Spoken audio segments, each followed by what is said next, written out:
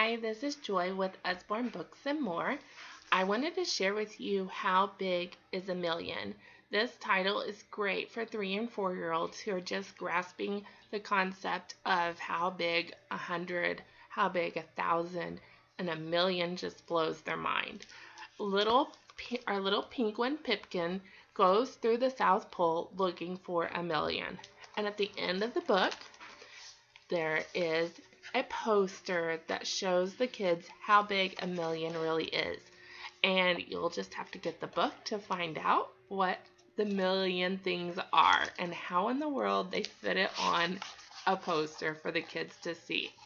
So, um, this is a great book, and I really recommend it for those three, four, five year olds um, who are really getting the concept of numbers.